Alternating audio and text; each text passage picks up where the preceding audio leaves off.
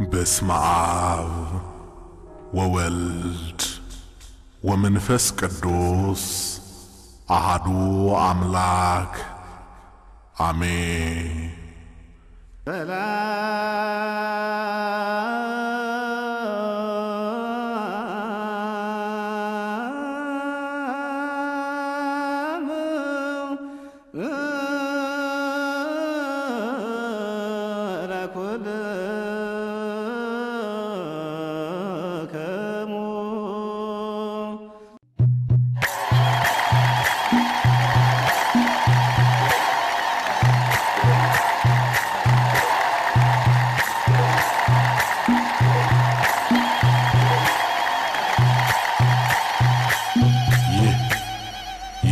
የኢትዮጵያ ኦርቶዶክስ ተዋሕዶ ቤተ ክርስቲያን አስተምህሮን መሠረት በማድረግ ዘውትር እሁድ በዚህ ሰዓት እየተዘጋጀ የሚቀርብላችሁ ታኦሎጎስ የተሰኘው መንፈሳዊ የቴሌቪዥን ፕሮግራማችን ነው። በዚህ ፕሮግራም እንደ ፀሐይ የሚያበሩ መጽሐፍ ቅዱሳዊ እውነታዎች ለዓለም ይሰበካሉ። መንፈሳዊ መዝሙራትና የኪነ ጥበብ ትሩፋቶች ዘመናትን የተሻገሩ ገዳማትና አድባራት ከሃይማኖት ቤተሰቦች ጋር የሚደረጉ መንፈሳዊ ውይይቶችና ልዩ ልዩ አጫጭር documentary ፊልሞች ወደ እናንተ ይቀርባሉ። ታኦ ሎጎስ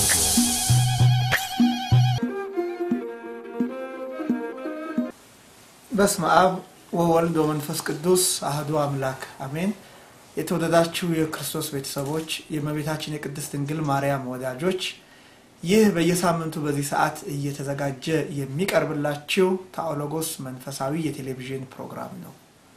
ዛሬ ከሌላው ጊዜ ለየት ባለ መልኩ ክርስቲያንና ክርስትና የሚል ርዕስ በተከታታይ የሚቀርብ መንፈሳዊ የመጽሐፍ ቅዱስ ትምህርት ይዘንላችሁ እንቀርባለን። ይህን ትምህርት ይዘንላችሁ የምንቀርበው መምህር በሪሁን ወንደሰን፣ መምህር ያሬድ ዮሐንስ፣ መምህር ታሪኩ አበራና እኔም እንሆናለን። እስከ ፕሮግራማችን ፍጻሜ ድረስ አብራችሁን እንድትቆዩ ይህን ፕሮግራም የምትከታተሉ ሁላችሁ ደግሞ ማስታወሻ ይዛችሁ ይህን ተከታታይ የመጽሐፍ ቅዱስ ትምህርት እንድትከታተሉ እንድትጽፉና ለራሳችሁ ተጠቅማችሁም ለሌሎች እንድታስተምሩበት በትትና እንጠይቃለን። በመግቢያችን እንደገለጽንላችሁ ርዕሳችን ክርስቲያንና ክርስትና የሚል ነው። የዚህን መንፈሳዊ ውይይት የምንጀምረው ክርስቲያን ወይም ደግሞ ክርስትና የሚለውን ቃል በመተርጎም ይሆናል። ክርስትና የሚለው ቃል ትርጉሙ ምንድን ነው? ከየት መጣ? የሚለውን ወንድሞቼ ያካፍሉናል። መጀመሪያ ክርስትና የሚለውን ትርጉም ከመምህር በሪሁን ጀምራለሁኝ። መምህር በሪሁን እንጋብዛለሁ። እንግዲህ ሁሉም ሰው እንደሚያውቀውና የመጽሐፍ ቅዱስ ሊቃውንትም እንደሚስማሙበት የመጽሐፍ ቅዱስ መዝገበ ቃላትም እንደሚናገረው ክርስትናው የክርስቶስ ተከታዮች የሆኑ ሰዎች የሚያምኑት እምነት ነው። እምነት ነው፣ አስተሳሰብ ነው። ይሄ ክርስትና የሚለው እምነት በክርስቶስ ሞትና ትንሣኤ የሚያምኑ ሁሉ የዘላለም ሕይወትና የዘላለም ጽድቅ ያገኛሉ ብሎ ማመን ክርስትና ተብሎ ይገለጣል።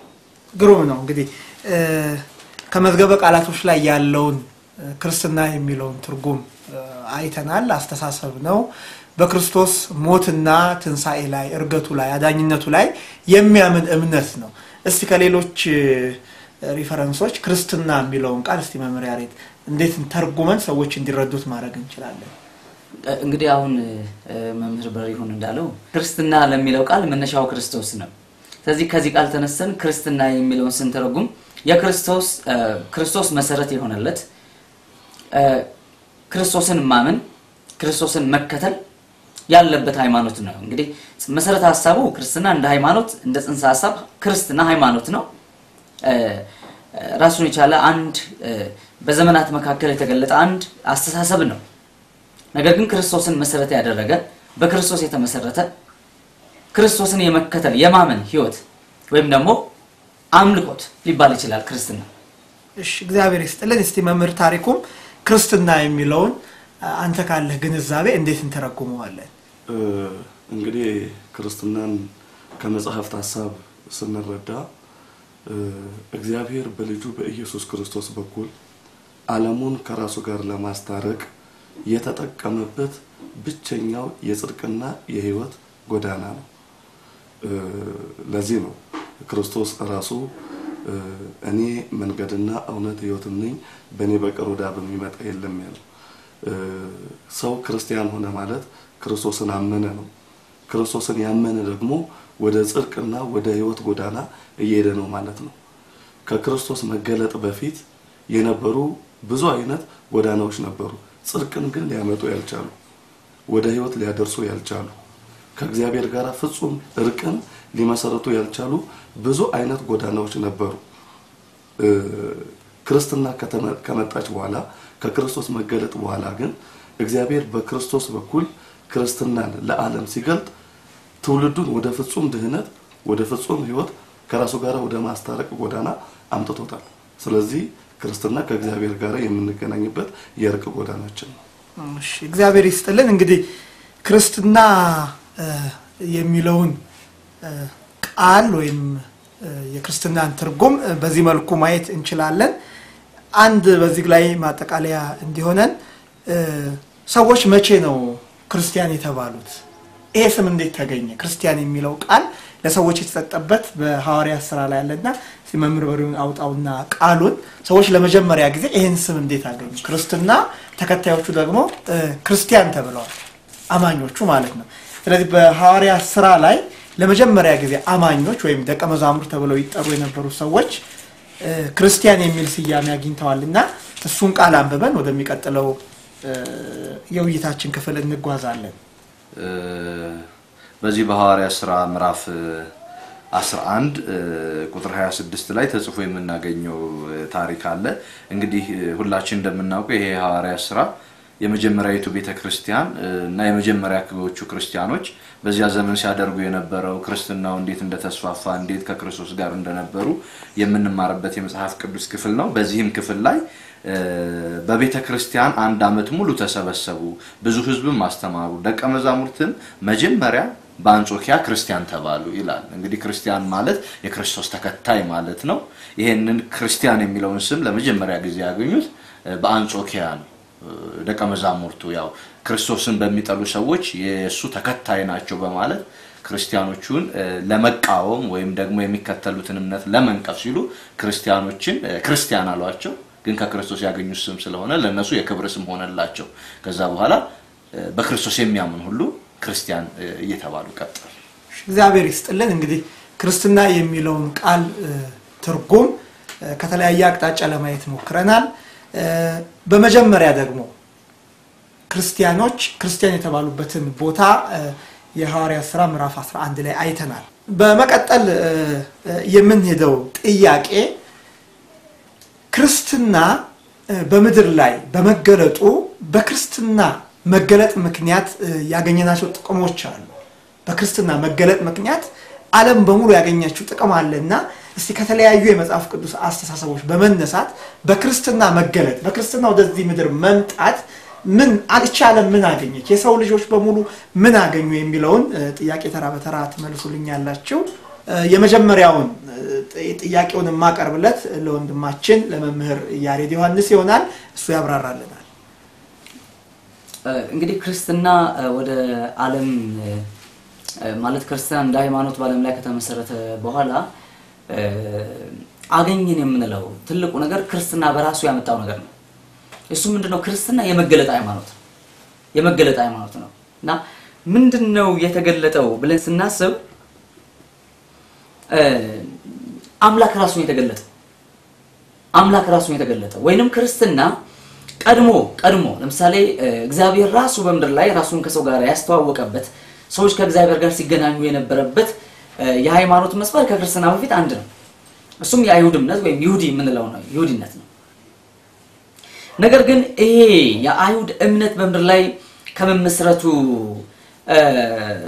በፊት ራሱን እግዚአብሔር ደግሞ እንዲሁ የገለጠበት መንገድ አለ። ለምሳሌ officially ወይም ደግሞ በህግና በስርዓት የአምልኮ ህግና የአምልኮ ስርዓት ኖሮት እ፣ የቤተ እስራኤል ወይም ከሙሴ በኋላ የተነሳው የእስራኤል ሃይማኖት እንደ ሃይማኖት ማለት ነው የተደራጀ ሃይማኖት ስፍራ ያለው መስዋዕት ያለው ህግ ያለው ሃይማኖት ከመቋቋሙ በፊት ስለ እግዚአብሔር የምናውቀው ነገር አለ። ስለ እግዚአብሔር የምናውቀው ነገር አለ። ስለ እግዚአብሔር የምናውቀው ነገር ግን በጣም ውስን ነገር ነው። ነገር ግን እግዚአብሔር ራሱን በመልእክተኛ በኩል በወዳጆቹ በኩል በነቢያት በኩል በሰው በኩል ሳይሆን ክርስትና በራሱ በእግዚአብሔር መገለጥ የተመሰረተ ሃይማኖት ነው። ስለዚህ ተገልጦ አይተነዋል ማለት ነው። የተገለጠው አንደኛ በስጋ በመ- በመገለጡ በስጋ በመገለጡ እኛ በቀጥ- በቀጥታ የእግዚአብሔር ልጆች ህዝቦች የምንሆንበትን ጸጋ አግኝተናል። ከዚያ ውጭ የእርሱ መገለጥ ደግሞ እግዚአብሔርን አንድ ብለን ስናምን አንድ ብለን ስናምን አንድ እግዚአብሔር ነው፣ አንድ አምላክ ነው። ግን ሶስትነት እንዳለው ሶስትነት እንዳለው የተገለጠው በዚህ በክርስትና ነው። ለምሳሌ ይህን መገለጥ በደንብ የሚያብራሩልን እግዚአብሔር በክርስትና ወይም በክርስቶስ ከመገለጡ በፊት ቀድሞ የነበሩትን የተገለጠባቸውን መንገዶች አጠር አድርጎ ማየት ይቻላል። የመጀመሪያው እግዚአብሔር ራሱን ገለጠ ብለን የምንለው በስነ ፍጥረት ነው። በስነ ፍጥረ- በስነ ፍጥረት በኩል እግዚአብሔር ተገልጧል። በስነ ፍጥረት በኩል ብለን ስንምል ማለታችን ነው። ለምሳሌ ኦሪት ዘፍጥረት ምዕራፍ አንድ ቁጥር 21 እግዚአብሔር በመጀመሪያ ሰማይና ምድርን ፈጠረ ይላል። ስለ እግዚአብሔር አይደለም የሚነግረን፣ ስለ ፍጥረቱ ነው የሚነግረን። ስለዚህ እግዚአብሔር ራሱን የገለጠው ምንድን ነው ማለት ነው? በፍጥረቱ ነው። እግዚአብሔር ራሱን የገለጠው ሰማይና ምድርን በውስጣቸው ያለውን ሁሉ በመፍጠሩ ኃይሉ፣ ችሎቱ፣ አምላክነቱ፣ ጥበቃው፣ መግቦቱ ሁሉ ነገር ተገልጧል። ይህን ሐዋርያው ቅዱስ ጳውሎስ በሮሜ 1 21 ላይ የማይታየው የእግዚአብሔር ኃይል የማይታየው ባህሪና አምላክነት ዓለም ከተፈጠረ ጊዜ ጀምሮ በተሰሩት ነገሮች ግልጥ ሆኖ ይታያል በማለት እግዚአብሔር ለፍጥረቱ በፍጥረቱ ታወቀ ይለናል። ቶማስ አኩናስ የሚባል አንድ የቤተ አንድ ሊቅ አለ ወይም ፈላስፋ አለ። ይሄ ሰው እግዚአብሔር በፍጥረቱ እንዴት እንደተገለጠ በሚያምር ቋንቋ ገልጦታል። የፍጥረት አንድነት፣ የፍጥረት ስምምነት፣ የፍጥረት ስርዓት ጋላክሲን ስትመለከት፣ universe ን ስትመለከት፣ ውህደቱን፣ ስምምነቱን፣ አንድነቱን ስትመለከት ከሁሉ በላይ የሆነ ተፈጥሮን የሚቆጣጠር ተፈጥሮን የሚገዛ አሳምሮ የሰራ ዲዛይነር ወይም ደግሞ እንደዚህ ውብ አድርጎ አዋህዶና አስማምቶ የፈጠረ አንድ አምላክ አለ በማለት እግዚአብሔርን ከፍጥረት ተነስቶ ከስነ ፍጥረት ሕግና ስርዓት ተነስቶ የእግዚአብሔርን ሀልዎት አስረድቷል። ስለዚህ እግዚአብሔር ራሱን መጀመሪያ የገለጠው በስነ ፍጥረት በኩል ነው ማለት ነው። አንድ ሰው እኔ አለው እያለ ሰማይና ምድር አለው እያለ ፍጥረት natural law የምንለው ነገር አለ እያለ እግዚአብሔር የለም ቢል ይሄ ሰው ሐሰተኛ ነው። መጽሐፍም የሚለው ይህንን ነው። ይብል አብድ በልቡ አልቦ እግዚአብሔር፣ ሰነፍ በልቡ እግዚአብሔር የለም ይላል። ምን ማለት ነው? እኔ አለሁ እያለ እግዚአብሔር የለም ይላል። እሱ መኖር የእግዚአብሔር ህልውና ማስረጃ ስለሆነ ማለት ነው። እንግዲህ እግዚአብሔር የሚታዩ የማይታዩ ጥቃቅንና ግዙፎችን ሁሉ በመፍጠሩ ክብሩን ገልጧል፣ ኃይሉን ገልጧል፣ አምላክነቱን ገልጧል ብለን እናምናለን። ስለዚህ የመጀመሪያው እግዚአብሔር መገለጥ በእጆቹ ስራ የተገለጠ። ከእጆቹ ስራ ደግሞ ዋነኛው የእግዚአብሔር እጅ ስራ ብለን የምናስበው ሰው ነው። ሰው ነው። እግዚአብሔር ፍጥረትን ሲፈጥር በሶስት መንገድ እንደፈጠረ እናውቃለን። የመጀመሪያ በሀሳብ ነው፣ ባለው ነው። ቀጥሎ ደግሞ በቃል በነቢብ በንግግር ነው። መጨረሻ ላይ ግን በእጁ ነው። በእጆቹ የፈጠራቸው ፍጥረቶች ብዙ አይደሉም፣ አንድ ነው። መላእክትን እንኳን በእጁ አልፈጠረም፣ ሰውን ብቻ ነው የፈጠረው። ሰውን በእጁ ሲፈጥረው እግዚአብሔር በሰው ላይ ያለውን ዘላለማዊ ጭምር ነው ያሳየው እግዚአብሔር ሰውን ሲፈጥረው ባህሪውን አካፍሎታል። አዋቂነትን፣ አስተዋይነትን፣ ጥበብን፣ ፍቅርን፣ እራይን አካፍሎታል። ይሄ ትልቁ የእግዚአብሔር ዓላማ የሆነው ሰው የእግዚአብሔር ምሳሌ ነው። እንደውም እግዚአብሔር ሰውን ሲፈጥር ምንድን ያለው? ሰውን በመልካችን እንደ ምሳሌያችን እንፍጠር ነው ያለው። ዘፍጥረት አንድ ሃያ ስድስት ማለት ነው። ይሄ በእግዚአብሔር ምሳሌ የተፈጠረው ሰው ከአፍንጫው፣ ከዓይኑ፣ ከእጁ፣ ከእግሩ በላይ ነፍሱ ወይንም መንፈሱ እውቀቱና ጥበቡ ማስተዋሉ እግዚአብሔርን የሚመስለው ሰው እግዚአብሔርን ያሳያል። እግዚአብሔር መገለጫ ነው። ይሄ እግዚአብሔር የተገለጠበት ከእግዚአብሔር በታች ሁሉን ግዛ የተባለው የሰው ልጅ ወደቀ። ሁለተኛው መገለጥ አሁን ይመጣል። ሁለተኛው መገለጥ ምንድን ነው? ይሄ የወደቀው የሰው ልጅ ወድቆ እንደማይቀር ረክሶ እንደማይቀር ቆሾ እንደማይቀር እግዚአብሔር ቃል እየላከ ነቢያትን እያስነሳ ያጽናናው ተስፋ ይሰጠው ነበረ። ስለዚህ ሁለተኛው መገለጥ በቃል የሆነ መገለጥ ነው። ነቢያት አሉ። ነቢያት የምንለው ከሙሴ ጀምሮ ያሉትን ነው።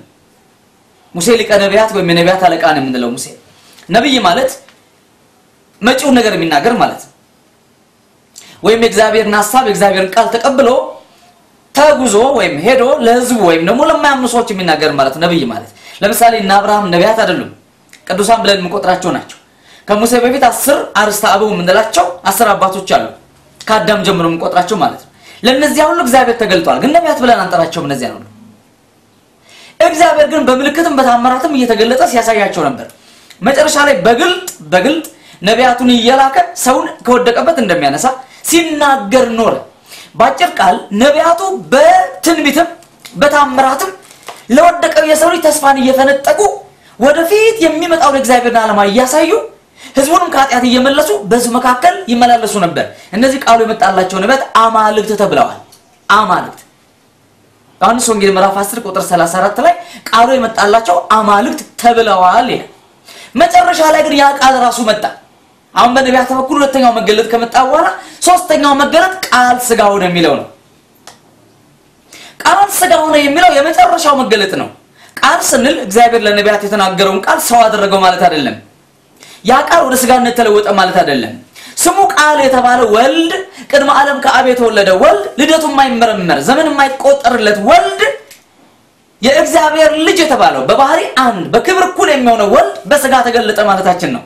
ከእናታችን ከቅድስት ድንግል ማርያም ስጋ ነስቶ በስጋ ሲገለጥ ቃል ስጋ ሆነ። ዮሐንስ ወንጌል ምዕራፍ አንድ ቁጥር 14 ላይ ቃል ስጋ ሆነ ይላል። ያኔ ባህሪያችን ተዋህዶ በስጋ ተገለጠ ጸጋና እውነትን ተመልቶ በእኛም ማደረ ይላል። እንግዲህ ክርስትና በቃል መገለጥ በአምላክ ሰው መሆን በሰውም አምላክ መሆን የተመሰረተ ሃይማኖት ነው። ስለዚህ ቃል ስጋ ሆነ ጸጋና እውነትን ተመልቶ በእኛ አደረ። ቃል ማን ነበር? አስቀድሞ በእግዚአብሔር ዘንድ የነበረና እግዚአብሔር የሆነ የነበረ ቃል ነው። ስለዚህ ክርስትና በሰው መገለጥ በነቢያት በኩል በመልእክተኞች በኩል የተመሰረተ ሃይማኖት ሳይሆን በትክክል በእግዚአብሔር መገለጥ። ያሁን ቃል ስጋ በመሆኑ ቃል በስጋ በመገለጡ ስጋ አምላክ በመሆኑ የተገለጠ የተመሰረተ ሃይማኖት ነው።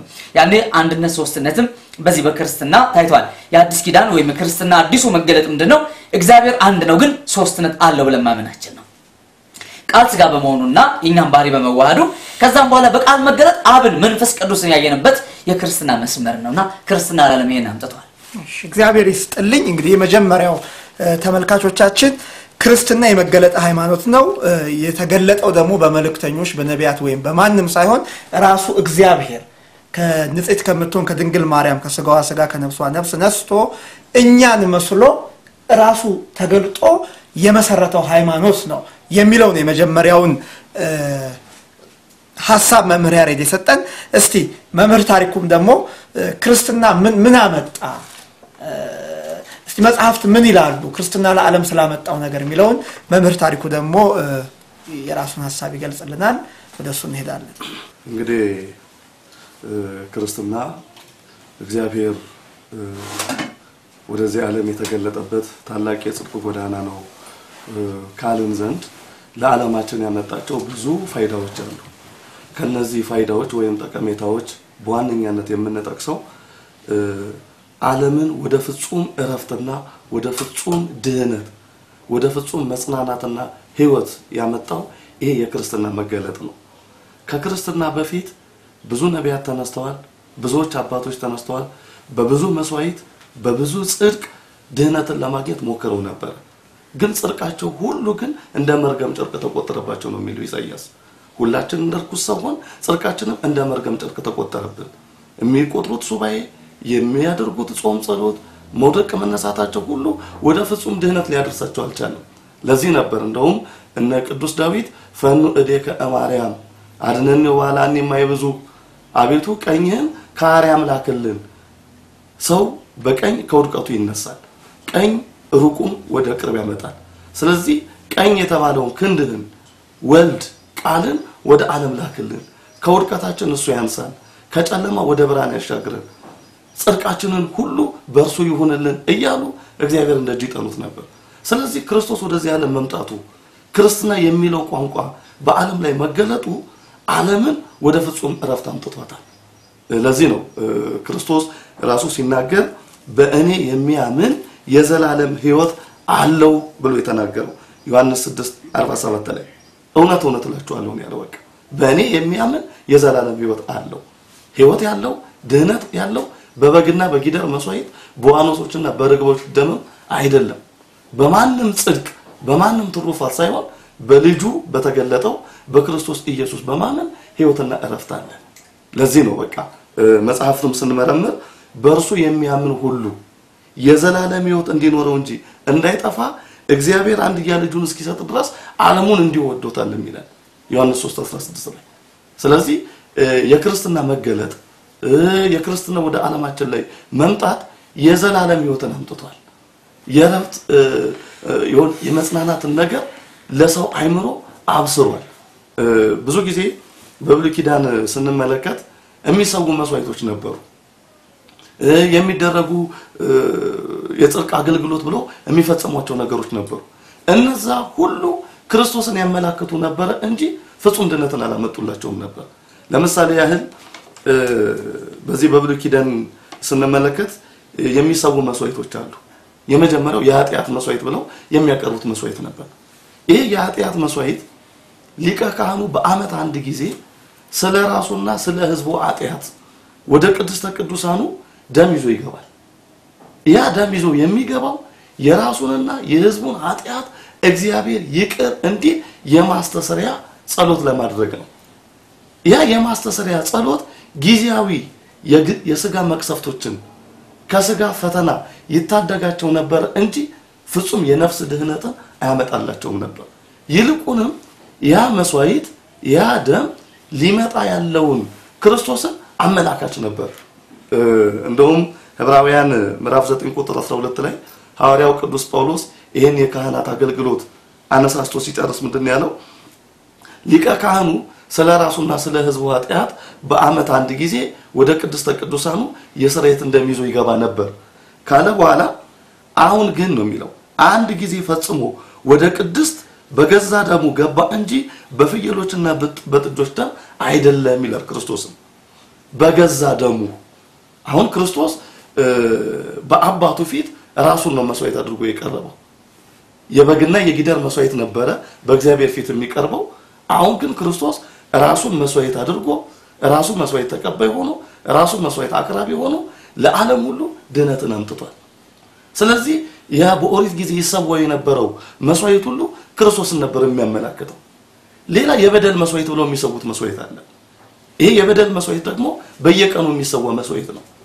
የኃጢአት መስዋዕት በዓመት አንድ ጊዜ ነው። የበደል መስዋዕት ደግሞ አንድ ሰው ኃጢአት ሲሰራ በግ በሊቀ ካህኑ ፊት እጁን በበጉ ላይ ጭኖ ኃጢአቱን ይነዘዛል። የሰራውን ኃጢአት የሰራውን ወንጀል በካህኑ ፊት ይሄን ሰርቻለሁ፣ ይሄን ፈጽሜያለሁ ብሎ ይናዘዛል። የሰውየውን ኃጢአት በጉ እንዲሸከሙ ይደረጋል። ከዛ በኋላ በጉ ይታረዳል። የበጉ ስጋም ከከተማ ውጭ ወጥቶ እንዲቀጠል ይደረጋል። አሁን ይህ ሁሉ ክርስቶስን ነው የሚያመለክተው እንጂ በወቅቱ ፍጹም የነፍስ ድህነትን አይደለም የሚያሰጣቸው።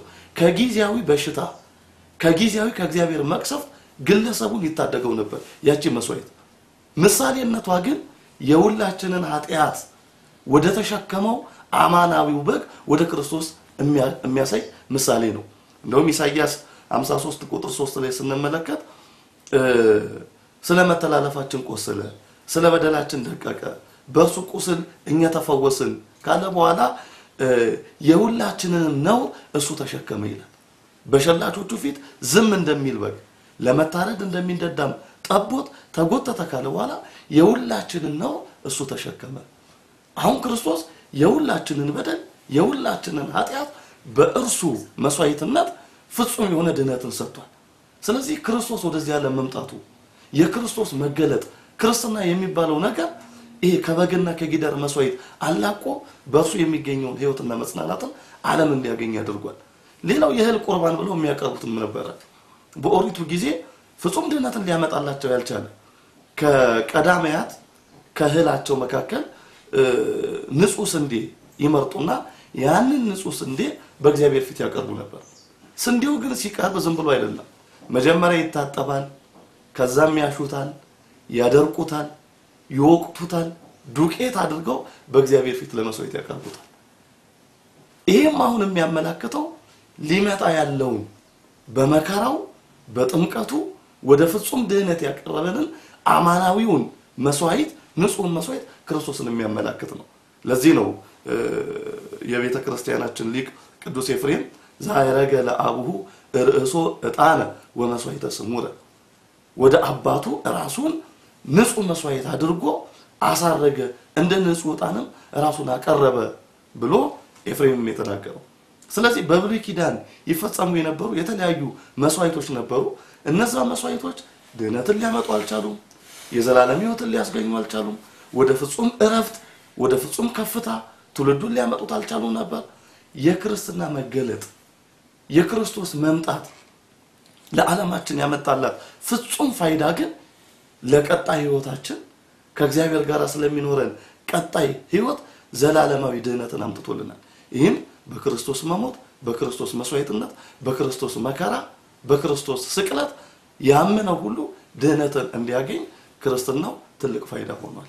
መምህር ታሪኩን እግዚአብሔር ይስጥልን። እንግዲህ ክርስትና ለዚህ ዓለም ያመጣውን ጥቅሞች ነው እየተነጋገርን ያለ ነው። ጥቅሞቹን ለመነጋገር ግን አስቀድሞ ክርስትና ከመመስረቱ በፊት ያሉትን ሁኔታዎች እያየን ነው ያለ ነው። አስቀድሜ እንደነገርኳችሁ ይህ ርዕሳችን ሰፊና በተከታታይ ከሌሎችም መምህራን ጋር በመወያየት የሚቀርብ ዝግጅት ነው። የዛሬውን ዝግጅት ከማጠናቀቃችን በፊት ስለ ፕሮግራማችን ያላችሁን አስተያየት፣ ሀሳብና ገንቢ ገንቢ ነገሮች በፌስቡክ አድራሻችን ላይ ታኦሎጎስ Spiritual TV Show የሚለውን like እያላችሁ በመጫን አስተያየት መስጠት የሚቀጥሉት ፕሮግራሞች ምን እንደሆኑ ማወቅና ያለፋችሁን ትምህርቶች በቪዲዮ እዛው ላይ ፖስት ስለምናደርግ መመልከት ትችላላችሁ። ለዛሬ ያዘጋጀንላችሁ ይሄው ነበር። ሳምንት የዚህን ቀጣይ ክፍል ክፍል ሁለት ይዘንላችሁ እንቀርባለን። እስከ ሳምንት መልካም ሳምንት።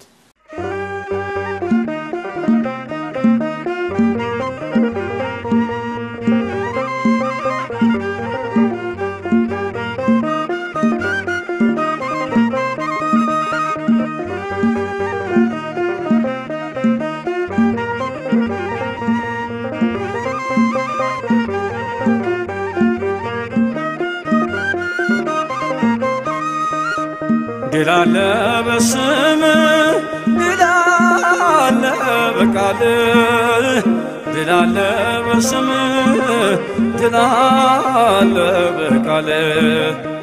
ተራራው ይናዳል አማኑኤል ስለ ባህር ይከፍላል መድኃኔዓለም ስለ ድል አለ በስም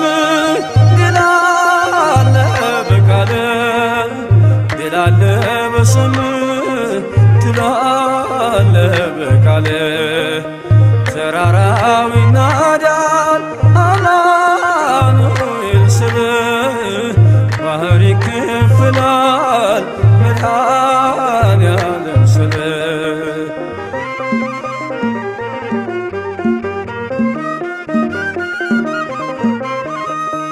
ቃዴስም ታላቁ በረሃ አለፍነው ሳንጠማ ውሃ ፈርዖንን ከባህር የጣለው ጌታዬ የጸና ስም ነው።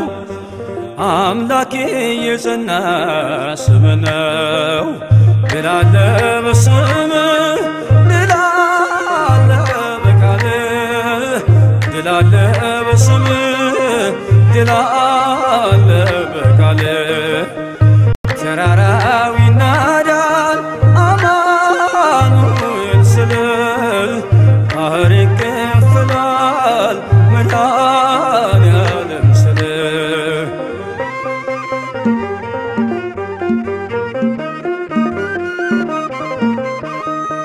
በእልልታ ቢፈርስ ያሪኮ ጠላትም ቢወድቅ ተማርኮ ቢሰጠን ለእኛ ከተማው የሆነው ሁሉ ካንተ ነው።